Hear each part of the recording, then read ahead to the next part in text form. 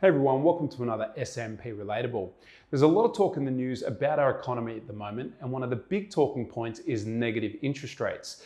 Now, the theory behind negative interest rates is that it increases consumer lending, and it's also designed to discourage people from saving their money in the bank.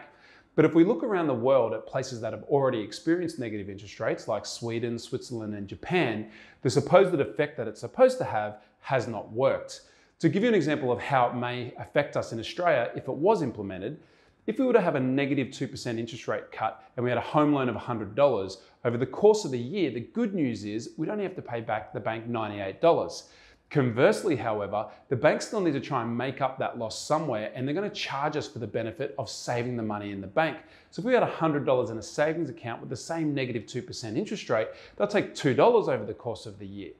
It's an interesting topic, and do I think it'll ever be implemented? Most likely not, but something that certainly needs to be addressed if it does happen. So, out of the three options in the poll that I'm providing today, do you think it would be best to hold our savings, if this was to happen, inside of our home loan, inside of a bank in a savings account, or take all of our money out and put it under the mattress? Love to hear your comments and see what you think about this subject. Thanks so much for watching. Please like and share with your friends and family. And remember, anything worth having in this life, we want to save, make, and protect.